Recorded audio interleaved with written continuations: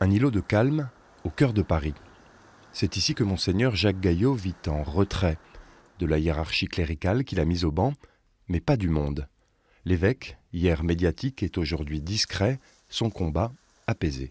Je suis toujours en lien avec euh, les Palestiniens, avec les Tunisiens, avec les, les Iraniens en résistance, et je suis toujours vivant, mais croyant. Monseigneur Gaillot est toujours officiellement évêque, mais il n'est plus en relation ni avec l'Église ni avec ses confrères. Je n'ai pas de lien avec eux. Étant donné que je ne suis pas invité dans leurs rencontres, euh, à Lourdes ou dans les commissions, je n'ai pas, euh, pas le courrier de l'épiscopat, donc euh, je ne connais plus les évêques au fond.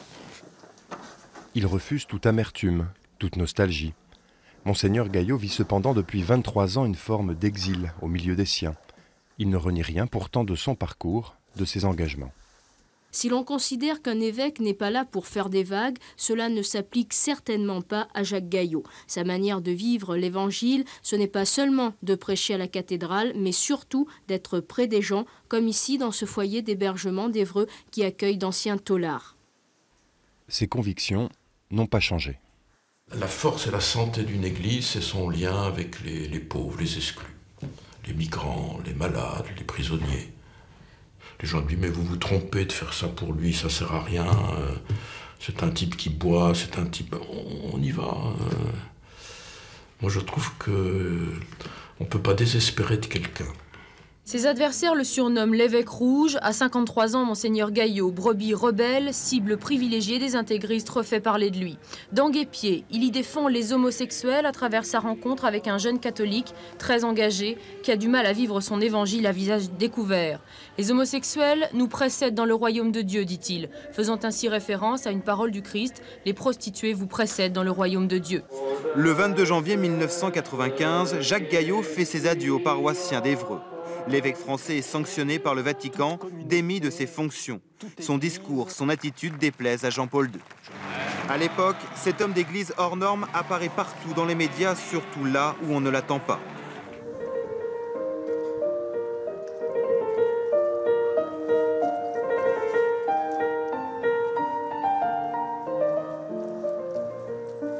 Quand j'étais exclu d'Evreux, Vraiment, j'étais en grande paix intérieure. C'est une grâce qui m'a été faite, mais je n'en voulais à personne, j'étais contre personne. J'ai peut-être été révolté contre des situations comme aujourd'hui, et je le disais, mais j'étais en paix avec moi-même, comme aujourd'hui. De toute façon, je, ne cherchais pas à être euh, bien avec les puissants, avec les gens du pouvoir, je n'ai jamais cherché ça. Je ne suis pas fait pour les honneurs, je ne suis pas fait pour... Euh, non, j'étais toujours du côté des, humbles. Il y a deux ans, Monseigneur Gaillot était reçu par le pape François qui l'a encouragé dans sa mission auprès des plus pauvres. Une reconnaissance, mais pas une réhabilitation.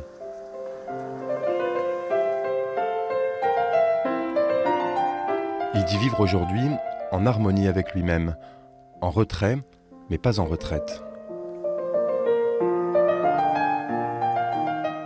Content de prendre de la distance, de, du silence, de voilà, c'est comme ça. Vous savez, on peut rayonner autrement sans être dans les médias.